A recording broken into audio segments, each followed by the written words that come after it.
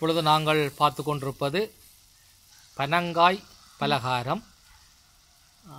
இதனை இன்று நாங்கள் தம்பலகாமம் பொற்கேணி கிராமத்தில் நாங்கள் இந்த பலகாரம் செய்கின்ற இடத்துக்கு நாங்கள் வந்திருக்கின்றோம். பனம் பழத்தினுடைய ஒரு பலனாகவும் இது அமைகிறது. அழகான ருசியான ஒரு பலகாரம். கிராமப்புறங்களில் இதனை நாங்கள் அதிகளவாக நாங்கள் அருந்தக்கூடியதாக இருக்கும். நினைத்த மாத்திரத்தில் விரைவாக செய்யக்கூடிய ஒரு பலகாரமாகவும் இது அமைகிறது.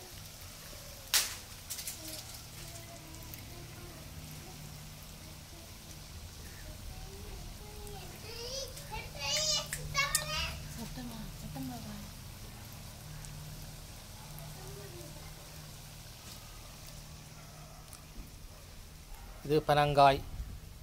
இருந்து பெறப்பட்ட அந்த களியை மாவுடன் சேர்த்து பொரிப்பதற்கு ஏற்ற விதமாக தயாரிக்கப்பட்டதாக இருக்கிறது.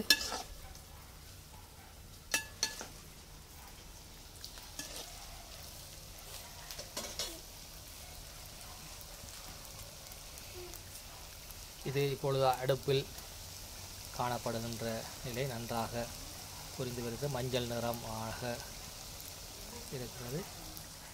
இது நன்றாக பொறிக்கப்பட்ட நிலையில் மாலை வேளைகளில் சிற்றுண்டியாக அருந்துவதற்கு உகந்ததொரு பண்டமாக இது விளங்குகின்றது.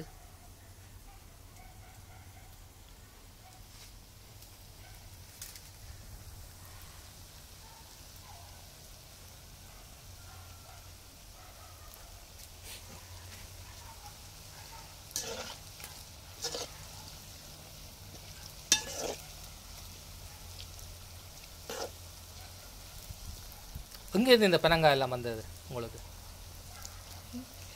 இது வயல். அங்கே இருக்கு இந்த வயல்?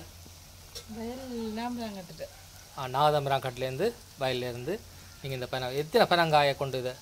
ரெண்டு. ரெண்டு பனங்காயில் இதை செய்யக்கூடிய இருக்கு? அடிக்கடி இதை செய்கிறீங்களா இல்லை இல்லை. பனம்பழம் கிடைக்கிற டைமில். ஆ பனம்பழம் கிடைக்கிற சந்தர்ப்பங்களில். பனம்பழம் வந்தால் யானை வருமண்டுவாங்களே அப்போ யானை இப்போ வார இல்லை ஆ யானை வர்றதில்ல.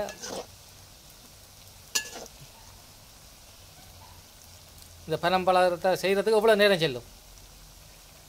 பனம் ஒரு மணி நேரத்தில் நீங்கள் ஏதாவது செய்யக்கூடியதாக இருக்கும் இல்லவா?